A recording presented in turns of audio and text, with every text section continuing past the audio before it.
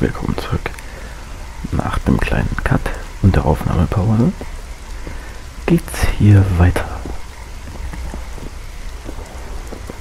Regnet aber ganz schön. Upsala. So, erstmal wieder richtig hingesetzt. Das sind aber echt viele Wachen.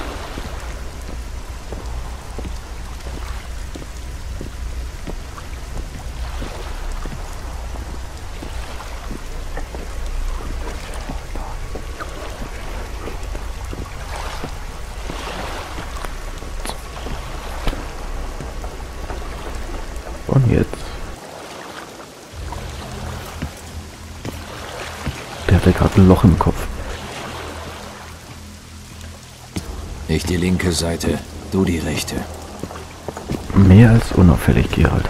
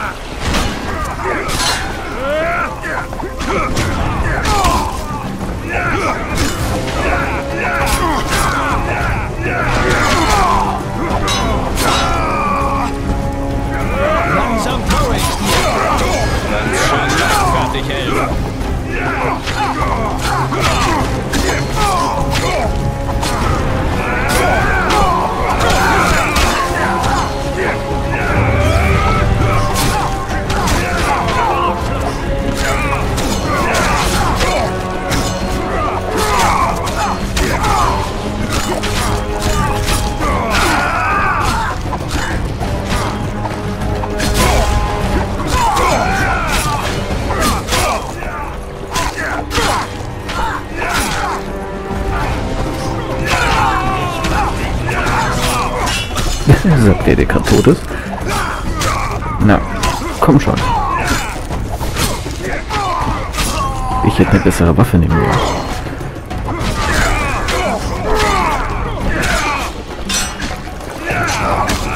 Ich bin doch gerade ausgewichen.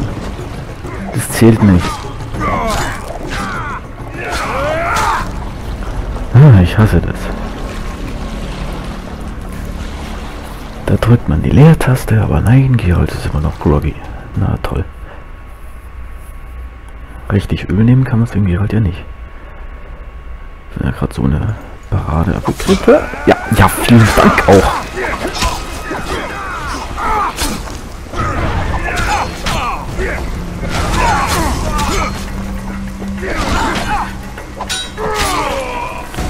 Das ist, das ist jetzt richtig gemein.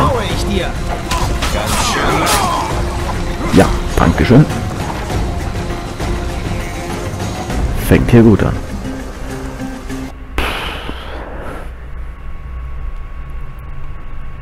Na?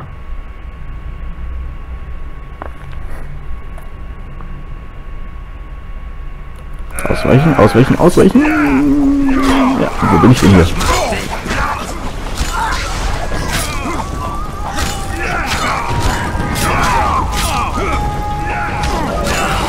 Was ist denn überhaupt mit diesen Wachsoldaten los? Ganz schön leichtfertig, Elf.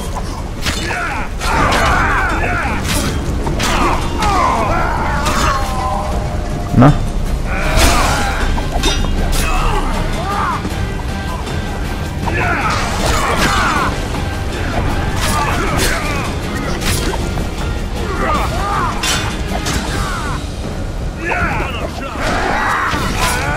Großartig.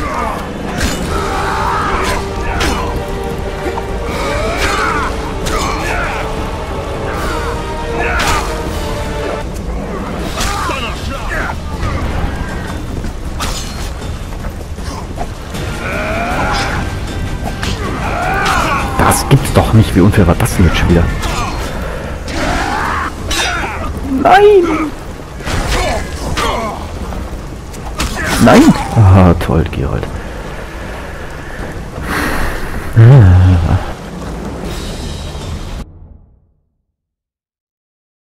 Gut, also hier wäre die bessere Rüstung doch vorteilhaft gewesen.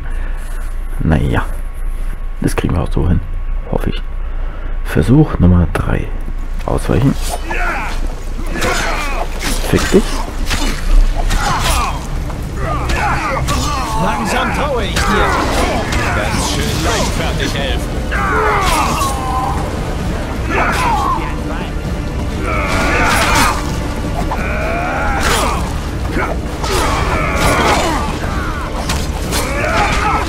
Na,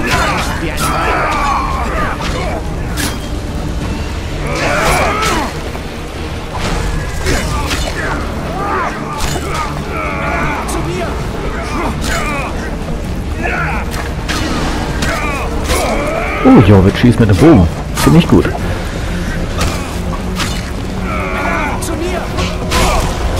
Ich wollte eigentlich den da links erwischen und nicht den da. Und ich wollte auch den erwischen und nicht den da. Ah, klappt ja super. Oh. Na toll.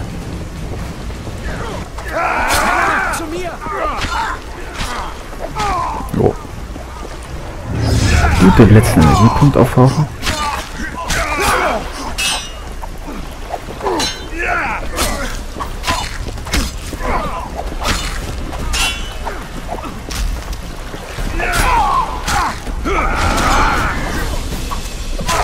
Ich wollte ihn da runterschubsen. Hat nicht so ganz geklappt. Nein, das war mir! Danke, Jorvik. Nein, Jorvik. Ah, verdammt. Nein! Unfair.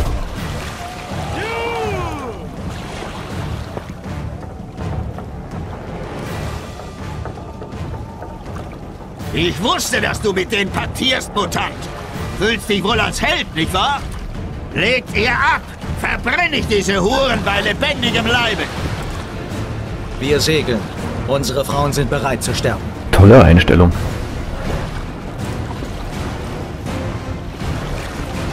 Spring, Gerald. Ich werde das nicht zulassen.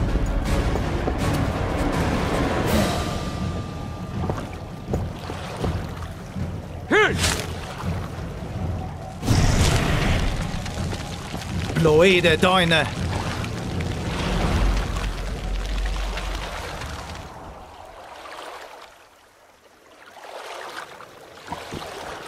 Nein!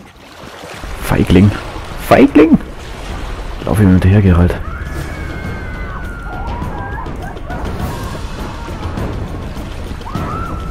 Hexer! Ich... Kommandant Loredo hat den Verstand verloren. Sie bei lebendigem Leibe! Pest und Cholera! Der Hexer tut das Richtige! Ui! Hey, das, die haben mir doch geholfen. Ah, nein. Ah, toll. Ah. Alter Gerald.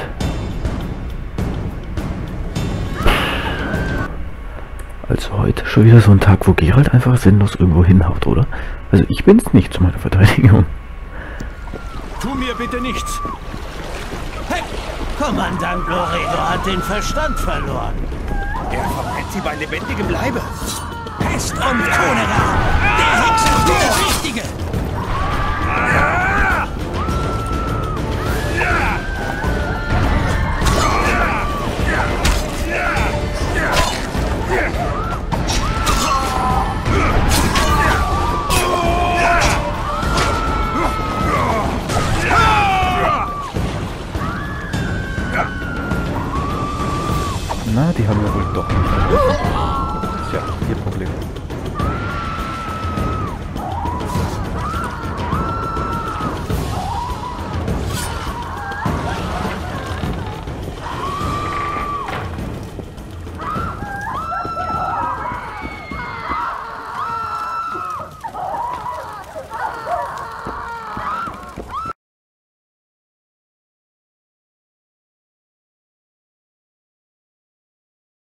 Geflohen. Gwynblade! Loredo holt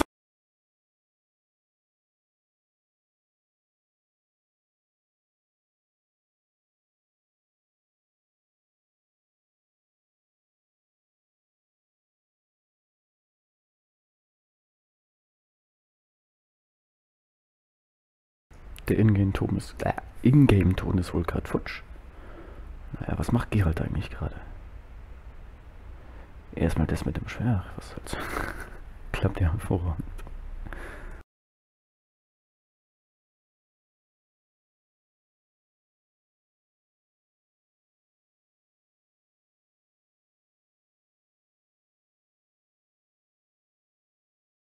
Ups.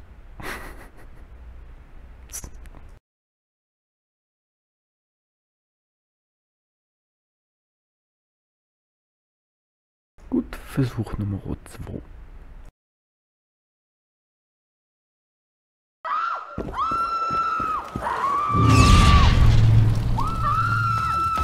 Klappt auch der Ton wieder.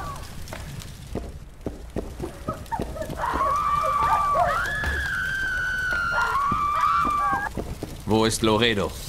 Geflohen. Gwynblade! Loredo holt Verstärkung! Wir segeln los! Unter uns brennt der Turm. Wir müssen springen. Geht nicht! Wir sind gefesselt! Hilfe!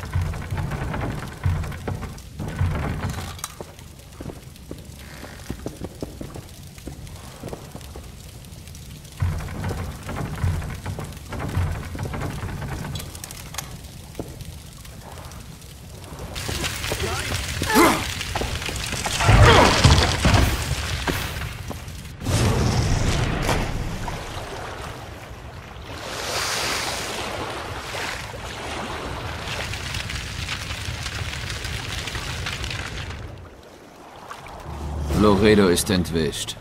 Der kommt nicht weit. Wenn ihn nicht ein Einheimischer erledigt, dann jemand anders. Es spielt keine Rolle. Du hast unsere Frauen gerettet. Wir stehen in deiner Schuld. Hilf mir, den Königsmörder und Trist zu finden. Dann sind wir quitt. Auf nach Wergen. Wir legen ab. So. oh Gott. Das. Da war ich jetzt gerade abgelenkt. Beim ersten Versuch war ja echt selten dämlich. Vor allem, statt dass er befreit hat, der Geralt, ist er erst wieder runtergeklettert, hochgeklettert, runtergeklettert. Dann hat er erst das Schwert nicht weggesteckt und hat damit erstmal nach der Elfe geschlagen. Ah, super Tag heute. Konnte Vernon Roche ungehindert ablegen? Ihm fehlt nichts. Wir haben ein bisschen geplaudert, stell dir vor. Aber es sollte dir klar sein. Er konnte nur ziehen, weil ich es zugelassen habe.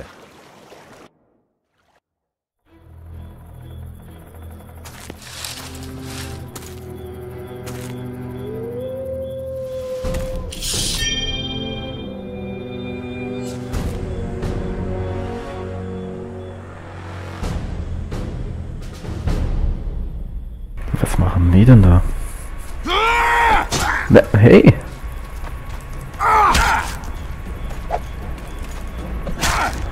Okay, ich kann nicht mehr ausweichen. Ich kann nur blocken. Kann ich kontern? Hey, ich hab doch gekontert. Ein Mensch hat mich besiegt. Ich werde alt. Was nun? Du hast Glück. Eigentlich hättest du die Folter verdient. Aber aus Mangel an Werkzeug schneide ich dir nur den Kopf ab. Du stirbst wie ein Krieger. Gut so. Bist sicher verwirrt, so kurz vor dem Tod. Gut, dass du es bist. Wär doch dumm, nach all den Jahren von einem verirrten Pfeil erwischt zu werden oder an einer Grippe zu sterben. Mist. Diesmal kommst du davon, deine Schützen sind im Anmarsch. Aber denk daran, ich habe dich einmal besiegt und ich kann es wieder tun. Toll. Heute ist echt ein klasse Tag. Im Ernst.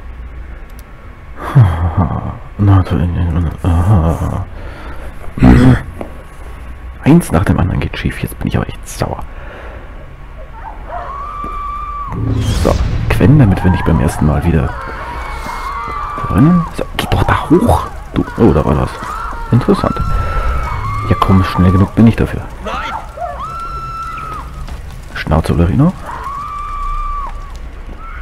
Waren wir ja schon. So, jetzt geht er hoch. Wo ist Loredo? Geflohen. Gwynblade! Loredo holt Verstärkung! Wir segeln los! Unter uns brennt der Turm. Wir müssen springen. Geht nicht! Wir sind gefesselt! Hilfe! gefesselt schaut ihr gar nicht aus. Aber es sind nur die Beine wahrscheinlich.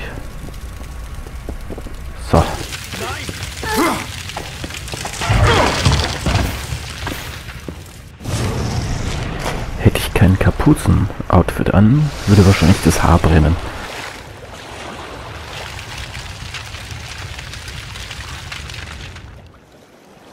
Loredo ist entwischt. Wer Konnte Wer So. Aber jetzt bitte ohne unnötige Fails.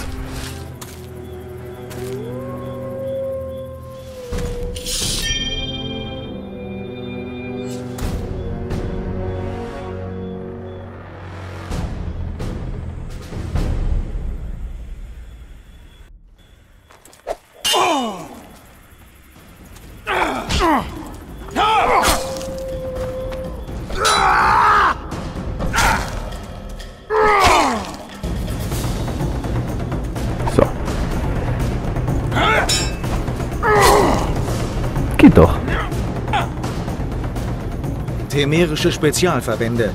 Nach dem ersten Nilfgaard-Krieg von Foltest zur Bekämpfung des Skoyatel aufgestellt. Veteranen, Fachleute, die Besten der Besten. Es ist Ausrosch. Siehst du diese Schilde? Mir fehlen nur noch die temerischen Lilien. Ich habe die Anführer aller Spezialverbände im Norden besiegt. Jetzt kann ich die Skoyatel einen. Bringen wir es hinter uns. Ich werde dich nicht umbringen, Roche. Enseide töten nicht die letzten Vertreter einer aussterbenden Gattung.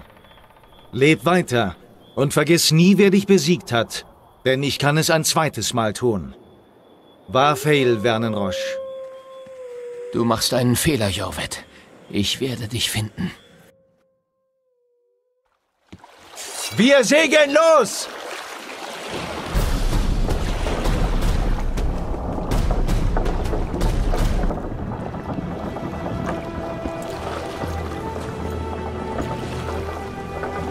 Geschafft.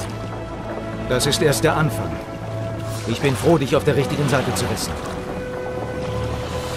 Deine Gewissheit hätte ich gern.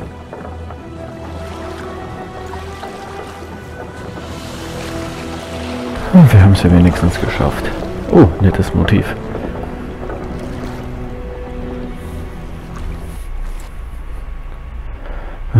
Der Attentäter hat uns genasführt.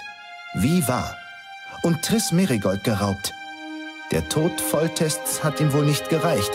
Und er musste sich noch seiner Beraterin bemächtigen. Es war keine Zeit nachzudenken. Es war Zeit zu handeln.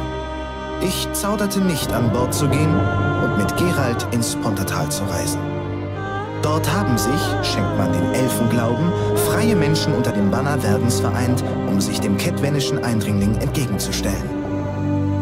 Natürlich sollen die außergewöhnlichen Persönlichkeiten in meiner Truppe Erwähnung finden. Gut, die Anwesenheit der Skoyatel, die ich als Mörder und Schurken betrachte, ist mir bisweilen unangenehm. Doch muss ich zugeben, dass Jorvets Hilfe und die seiner Spießgesellen hilfreich... Äh, Hilfe... Äh, hilfreich war. Nein, das klingt nicht schön. Äußerst nützlich eher.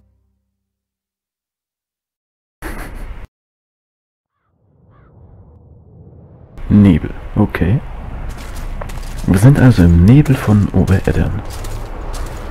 Das ist eine super Stelle für einen Cut. Naja, schon wieder eine kurze Folge.